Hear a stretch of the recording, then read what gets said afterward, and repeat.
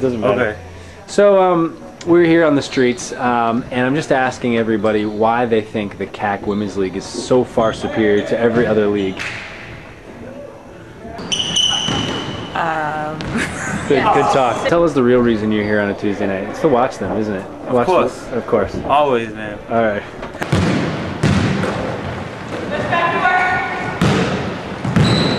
All right, so uh, we, we've been through this before, but what is your team name?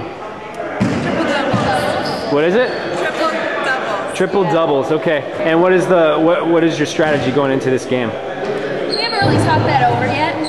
We're planning on it. We'll do it just before we We're start. watching them now. It's going to come from your heart, isn't it? That's right.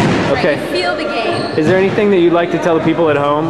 I understand it. I'd like to give a shout out to Ed. Ed, okay, I'm sure he'll appreciate that. Okay, so ladies, um, I have virgin ears, but could you please explain your team name? It's awesome. What is your team name? Hot dog toboggan. Yeah, with tag. And um, what you have one, two, three, four people tonight. Are you not going to need a sub? No. No. She, it snowed this morning. Have you seen Small Wonder? Uh, I'm looking at one. Oh.